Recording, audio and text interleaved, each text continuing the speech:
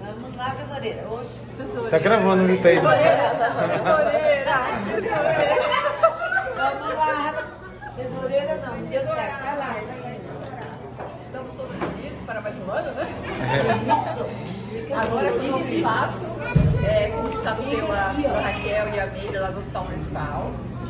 Isso é só o embrião, esse é só o embrião do que vem pela frente. De uma nova era, de um novo tempo das novas primavera e que a gente se multiplique. Talvez agora nesses novos, nesses novos dois anos que virão, que a gente se multiplique, ao ponto da gente ter que fazer um outro lugar, né?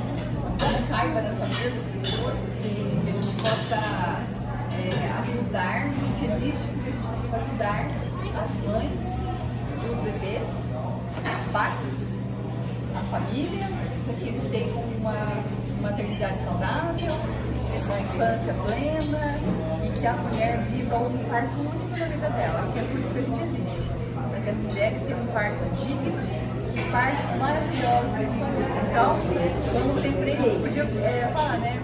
Semear afeto muda o mundo, que é esse o nosso tema. Então, semear afeto muda o mundo para 2025.